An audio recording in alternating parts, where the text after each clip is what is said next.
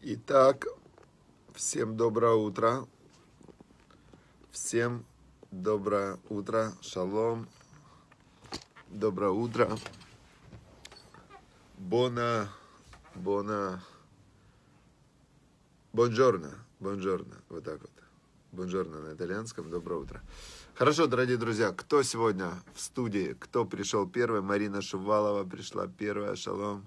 Влад Косов, Влад Косов, Виталий Величко, шалом, благословенный, всем мир, доброе утро, доброе утро, Наталья Ратнер, Лилия Бирман, отлично, Наташа Блава, все, у нас все постоянные наши, постоянные слушатели, изучаем, продолжаем изучать, продолжаем изучать притчи царя Соломона, сейчас, секундочку,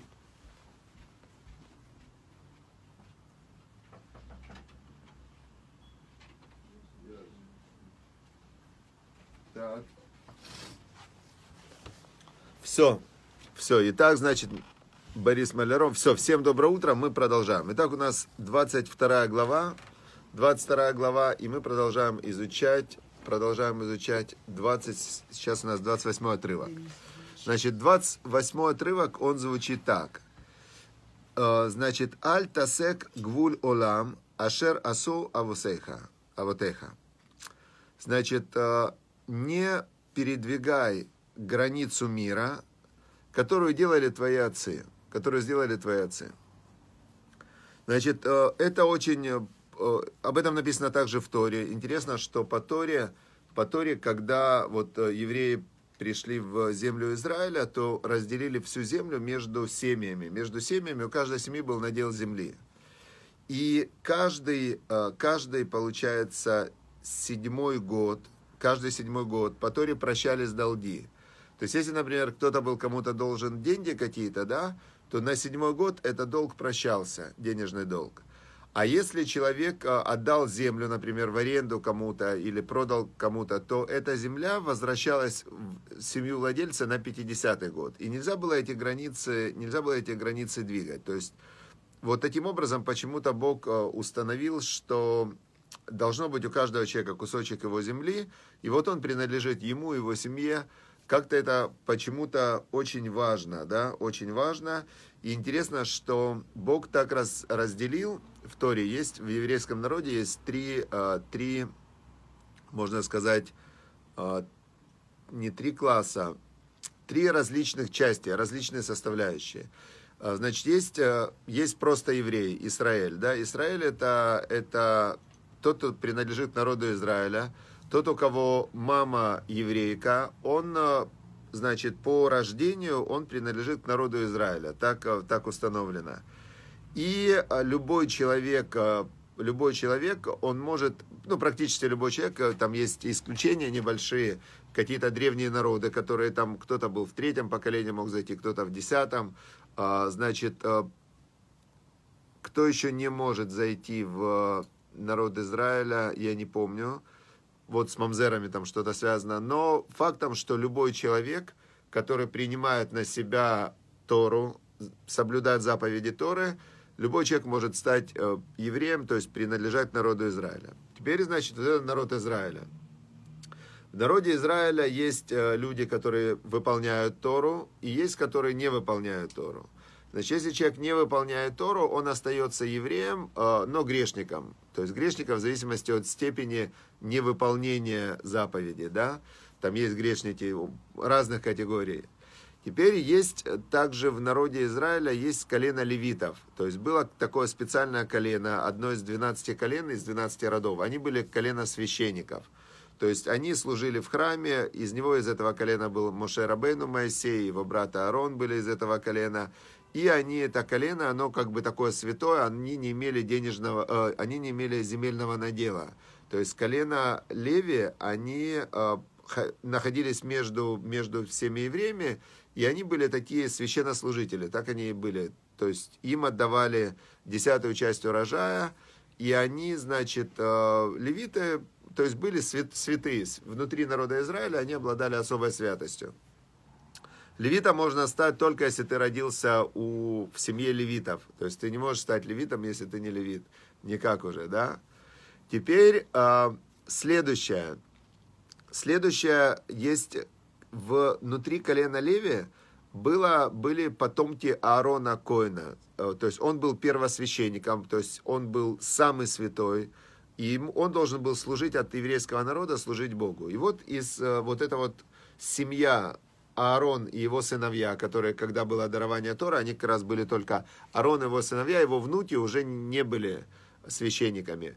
Им, они стали коинами. Коин это священник. И вот дальше Аарон и его сыновья внутри еврейского народа есть еще отдельная такая, как прослоечка, они называются коины. Коины священники. Тоже ты не можешь стать священником. То есть в эту семью войти ты не можешь. Ты можешь только из нее выйти. То есть если священник женился на женщине, которая нельзя на ней было жениться, там на разведенных им нельзя жениться, на недевственницах им нельзя жениться. То есть они должны жениться только на девушках, только на еврейках, они не могут жениться на тех, кто приняли иудаизм. И если Коин, э, он женился на, ну, на запрещенной для него женщине, то уже он Коэном не может быть. И сейчас есть, э, есть Коэны, их может быть там, э, я не знаю, полпроцента. То есть вот кто не знает еврейский народ, да, со стороны все евреи, оказывается внутри есть там три категории. Это как я приехал в Казахстан, а в Казахстане, оказывается, у них есть три, э, три рода. Старший сын, жузы это называется. Есть старший жуз, средний жуз и э, младший джус. И они не могут жениться, то есть они как бы могут, но те, кто соблюдают традиции, не могут. И они знают свою родословную, надо обязательно знать на минимум на 7 поколений вперед, они прям знают все фамилии, там кто, как, где, и даже внутри одного джуса они как-то, они не могут жениться на, на одной своей семье. То есть есть, как со стороны смотришь, кажется все таким куском, казахи, а внутри у них, оказывается, есть а, там три рода, и еще есть еще а, эти самые, у них есть те, кто от Чингисхана, чиндизиды, которые от Чингисхана ведут род. У евреев, а у евреев еще есть царский род. Царский род это род от царя Давида. То есть потомки царя Давида, только они, потомки царя Давида, могут стать царями. И э, Машех, э, Мессия, да, то, что ждут Машех, он будет из рода царя Давида. Он обязательно должен быть из этого рода.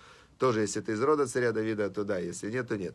Кстати, интересно, что мы сейчас живем, вот почему говорят, что мы сейчас живем в поколении, которое прямо перед приходом Машеха.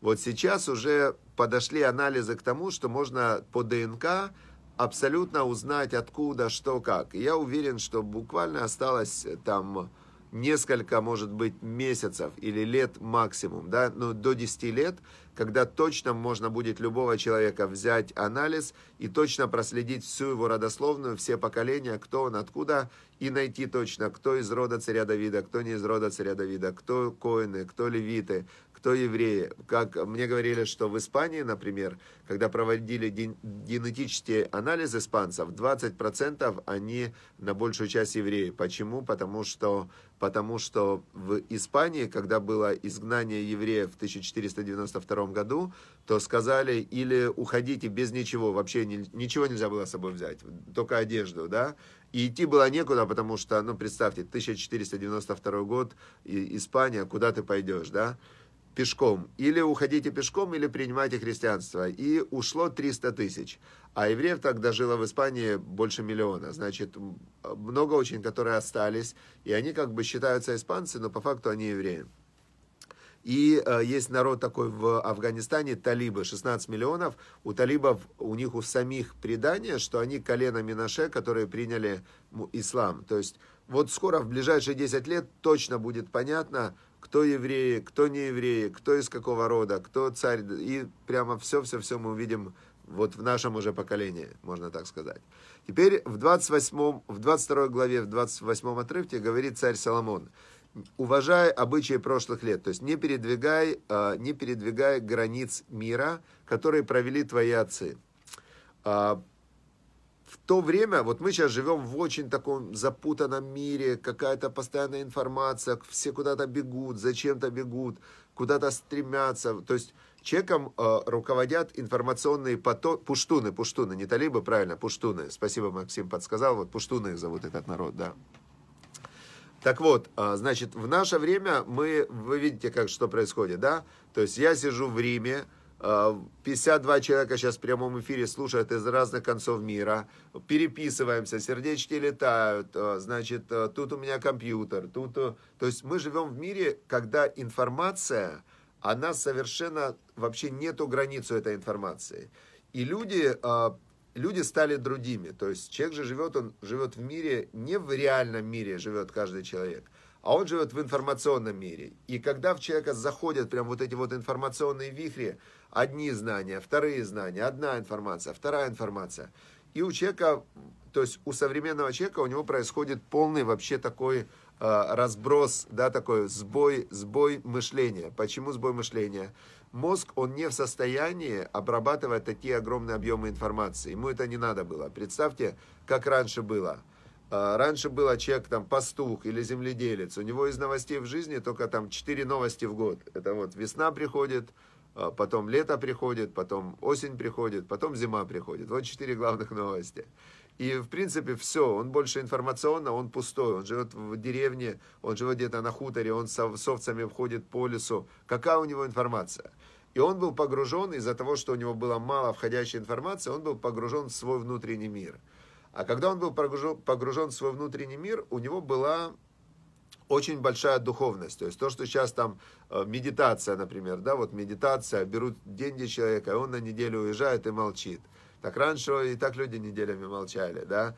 И они постоянно находились в состоянии соединения с собой и соединения с духовностью, потому что когда тебе нечего кушать, то любой человек начинает молиться. То есть молиться начинают все, как только вот кушать нечего, опасность какая-то, там самолет начинает вот так трястись, весь самолет начинает молиться. А они раньше жили, у них вот так вот, вот так вся жизнь была, да, то есть на глазах умирали, там, тут бах, чума, унесло. И они, все остальные, которые живые, они видят. Человек на сегодня, вот я, например, был за свою жизнь э, на кладбище, был три или четыре раза. Вот видел людей, которые умирают за мою жизнь. Слава Богу, чтобы и не хочу видеть.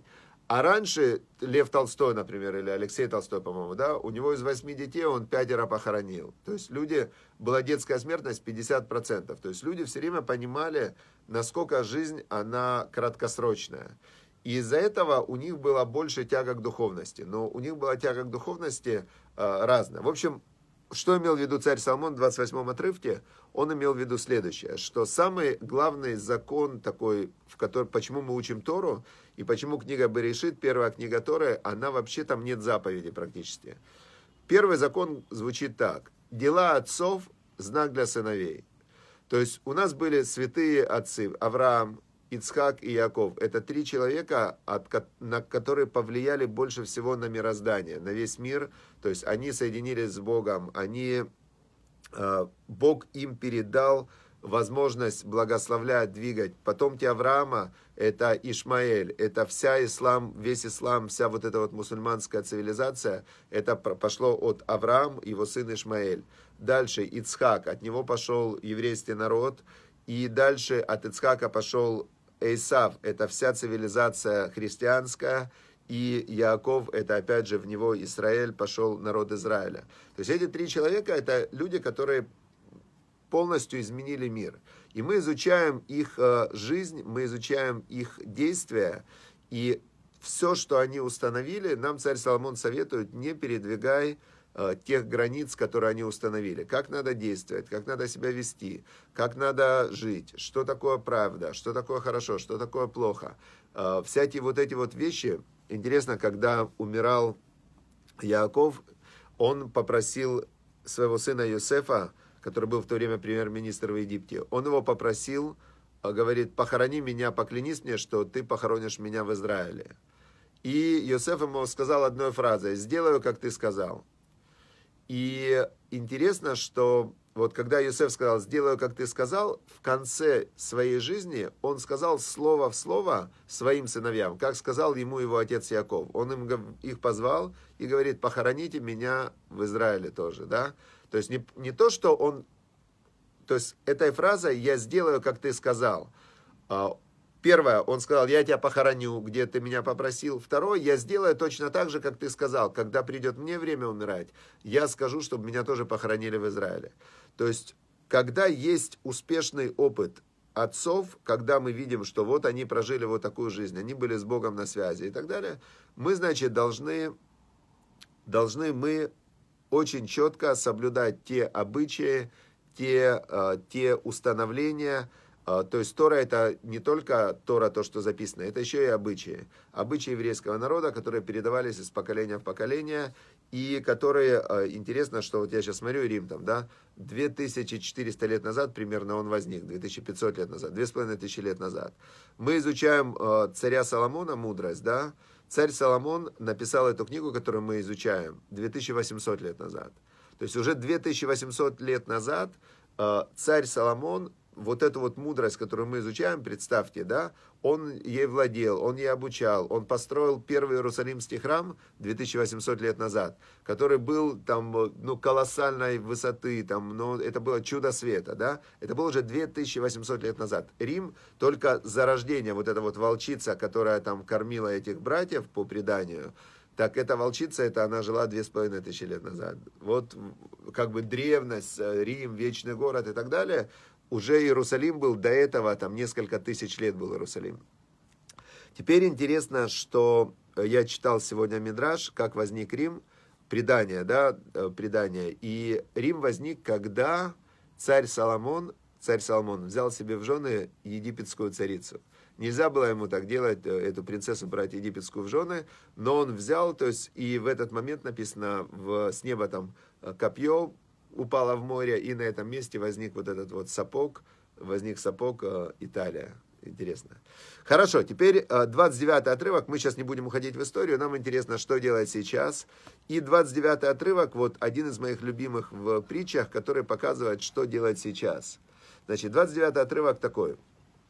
Вообще каждый человек, он э, есть мир, о котором он думает. Вот мы сейчас мыслью скакнули 2800 лет назад, потом скакнули 4000 лет назад, Авраам жил 4000 лет назад. То есть мысль человека, она просто, как сказать, она настолько легкая, она настолько безграничная, она настолько а, как Эйнштейн, он мог, э, представлял, что он сидит на луче, на луче света, который двигается прям со скоростью света, да? То есть мысль человека, она может двигаться со скоростью света, она может скакнуть на солнце, она может думать о Боге, она может думать о прошлом, о настоящем, о будущем, о чем угодно. То есть мысль человека мелькает вот так – но человек, он же сидит здесь, он сидит все время в одном месте, где он сидит в своем теле. То есть тело человека, оно находится здесь и сейчас. И тело человека, оно находится в настоящем времени. И человек пришел в этот мир, человек пришел в этот мир для того, чтобы этот мир преобразовывать. То есть, если бы у Бога был другой план, человек был бы какой-нибудь там, э, ну, облачком или там, я не знаю, энергетическим всплеском.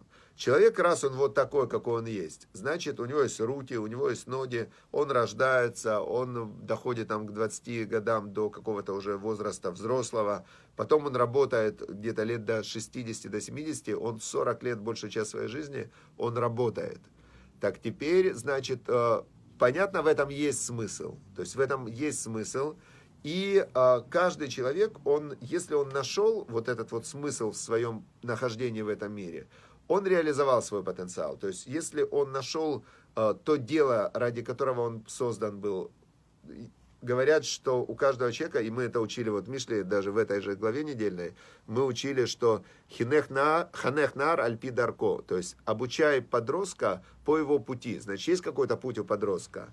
И когда он состарится, он с этого пути не свернет. То есть у каждого человека есть какой-то путь, и можно сказать, что он для этого создан, у него есть к чему-то талант.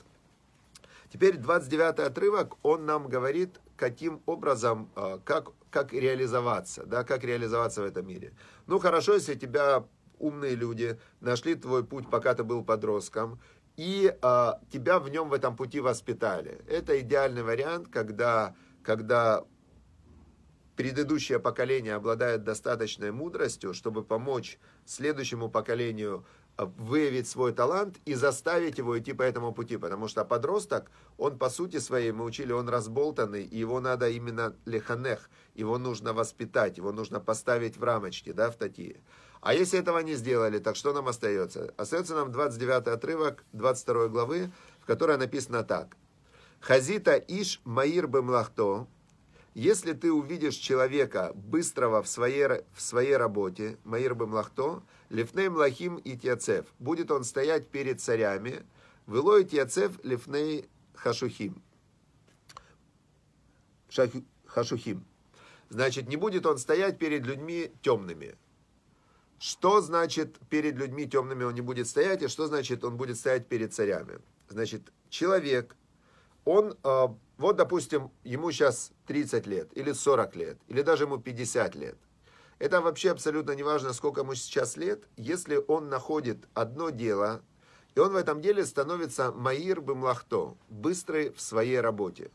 То есть нужно найти какое-то дело, котором, если ты в этом деле начнешь совершенствоваться, особенно в наше время мы живем сейчас, в то время, когда предыдущий опыт уже не имеет большого значения. Все меняется. Меняется не просто быстро, а очень быстро. Поэтому сейчас самое главное быть быстрым в своей работе. Что значит быть быстрым в своей работе? Это учиться и действовать, учиться и действовать. Теперь, если человек быстрый в своей работе, и он становится лучшим, он становится таким крутым мастером, да, настоящим мастером, будет он стоять перед царями. Перед царями он будет стоять, то есть у него будут заказывать люди, у которых есть власть, и не будет он стоять перед темными людьми. Здесь э, два комментария есть интересно, которые очень... Зачем говорить, будет он стоять перед царями и не будет стоять перед темными людьми? Значит, объясняют это двумя разными способами. Первый способ такой. Э, интересно вообще, удивительно, что я изучал систему, как продавать, написал даже книгу о продажах, и когда-то я изучил этот отрывок и понял, что мне нужно стать мастером в своей работе очень быстрым. И я написал 14 книг. Был год, я написал 3 книги в этот год. И одна из книг была «Как продавать». И там есть такая стратегия продаж, когда ты становишься мастером, ты уже не, не имеешь права просто гоняться за клиентами, за покупателями. Ты просто сообщаешь людям, что ты умеешь, и они должны сами к тебе идти. То есть ты не должен за ними идти. Называется это стратегия убегающего продавца. Ты просто поднимаешь цены, ты крутой мастер, и ты выбираешь с кем работать. И чем, чем тяжелее тебя достигнуть, тем, тем э, больше ценится твоя работа. Теперь это первое объяснение, э, что ты не должен сам стоять перед темными людьми. То есть э, ты выбрал себе, что твоя целевая аудитория это цари. Все, я продаю только царям. Прям вывеска такая, продаем царям, да, и все. То есть ты не царь, все, я с тобой не работаю. Это первое объяснение. Второе объяснение, это он будет стоять перед царями и не будет стоять перед темными людьми. Восприятие царя человека на уровне и восприятие темного человека – это разные восприятия. То, что нравится царю, не нравится темному. То, что нравится темному, не нравится царю. То есть есть э, разные виды работ, разный подход – а, разная, ну, совершенно это разная целевая аудитория, цари и темные люди. То есть, первое, что если ты уже стал мастером, первое объяснение, ты не продаешь темным. Второе, ты даже не понравишься темным. То есть, второе объяснение, что темные, они у тебя и не будут покупать, потому что то, что ты делаешь какие-то такие уникальные штучки, темным не надо. Понятно. Теперь есть еще одно объяснение, которое объясняет этот же отрывок вообще по-другому. Если ты будешь человеком, быстрым в своей работе, будешь стоять перед царем. Кто у нас царь? Кто главный царь? Это Бог. То есть, когда человек, он э, млаха, ради которой, работа, ради которой человек родился, все равно главная работа. Это духовный рост и служение Богу. Потому что есть в вот такая мешна, которая звучит так. Айом кацарова млаха меруба. День короток, то есть жизнь коротка. А работа, млаха вот эта, она многочисленная. В паалим ацелим. Паалим это твое тело, и твое тело, оно ленивое. То есть э, тело, вот это вот внутренняя корова, оно не дает тебе работать. А, в Сахар Арбе награда большая, то есть награда это вечная жизнь. В Баалябайт дохев. А хозяин дома это Бог, он подталкивает. Так звучит пертьявод, это Мишна. То есть жизнь человека это, это просто отрезок между родился и умер. И главная работа это духовная работа. Как ты за эту жизнь э, сформируешь свою душу. Теперь, если мы исходим из этого, то если ты видел человека быстрого в своей работе, служении Бога, то он будет стоять перед царями. Что имеется в виду? Что Бог его будет вести по жизненным путям, и у него будет интересная жизнь. Но главное, главное, это быть быстрым в работе перед Богом. Это вообще другое объяснение. То есть первое было объяснение, это как такое материальное бизнес-объяснение. Второе объяснение, это духовное. И человек вот здесь, он должен выбрать вот эту личную свою границу между духовностью и материальностью. Потому что, э, как сказал Рабан Гамлель, это тоже вторая глава в Пертиавод – что прекрасно совмещать изучение Торы с работой. Но на первом месте должно быть все равно изучение Торы. И если ты будешь быстрый в этой работе, в изучении Торы, тогда Бог тебе даст удачу во всех делах, и ты будешь стоять перед царями. То есть вот э, такая вот э, один отрывок, но в нем есть столько смыслов, таких именно практичных смыслов. Давайте подведем итог. Значит, что понятно? Первое, надо изучать жизнь великих людей. Самые великие люди за историю мира это были Авраама Вину, Ицхака Вину и Якова Вину. То есть это были три человека про отцы. И мы, вся книга Берешит, мы изучаем их жизнь. Вся книга, первая книга Торы Берешит, мы изучаем жизнь Авраама, Ицхака, Якова. И из этой жизни мы учим вообще, как надо жить. И нельзя сдвигать те границы, которые они установили. Второй вывод это, второй вывод это, что нужно быть мастером нужно быть человеком быстрым в своей работе. И в духовной работе, и в материальной работе. То есть нужно быть быстрым в работе, и будешь ты тогда стоять перед царями, и не будешь стоять перед темными людьми. Как говорил нам царь Соломон в другом месте еще, что все, что делает твоя рука, делай в полную силу. Делай на 100%, делай так, чтобы прямо если ты делаешь, вот прям самоотдачей стопроцентной, и тогда все, что ты делаешь, будет вообще очень круто. Учи Тору на 100% и работай на 100%. Все. И Бог нам даст благословение, потому что главная цель, когда служить Богу, значит Бог дает благословение во всем остальном. Все. Удачи, успехов и хорошего дня. Очень жду ваших выводов. Обязательно напишите три вывода. И эти выводы распространяйте. Прям напишите друзьям, знакомым. И э, еще было бы классно, если бы вы написали э, свой отзыв какой-то на странице Ваикра. Если она вам помогает, если вам нравится, то, пожалуйста, давайте вместе развивать вот эту вот нашу страницу. Мы хотим дать платформу не, не только мне, то есть здесь 100 раввинов есть, 100 людей, которые сами уже дошли до Бога с разных сторон. И они хотят сейчас э, распространять это знание. Давайте им помогать, и с Божьей помощью будет у всех благословения во всех хороших делах. Все, удачи, успехов, пока.